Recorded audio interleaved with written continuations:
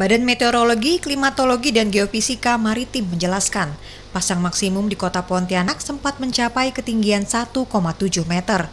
Kondisi ini terjadi sejak tiga hari terakhir, termasuk tanggal 13 Juli kemarin. Namun beberapa hari ke depan, ketinggian pasang diperkirakan sedikit menurun, tetapi bisa meningkat pada malam hari. BMKG Maritim memperkirakan tinggi air mencapai 1,4 sampai 1,6 meter dari permukaan air laut. Memang untuk tiga hari belakangan ini uh, terjadi pasang yang ini uh, kategori pasang maksimum siklus maksimumnya, di mana uh, tertinggi 2 2 sampai 3 hari kemarin uh, diperkirakan memang uh, tertingginya itu 1,7 hingga 1,8 1,6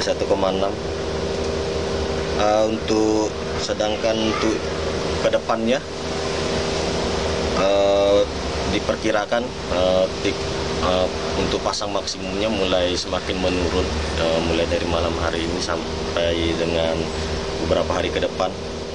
Selain pasang maksimum, hujan juga masih berpotensi terjadi di perairan kota Pontianak dan Kalimantan Barat, mulai dari intensitas ringan, sedang hingga lebat. Dengan kondisi ini, masyarakat diminta tetap waspada terlebih bagi warga yang bermukim di tepian sungai Kapuas. Dion Setiawan, Kompas TV, Pontianak.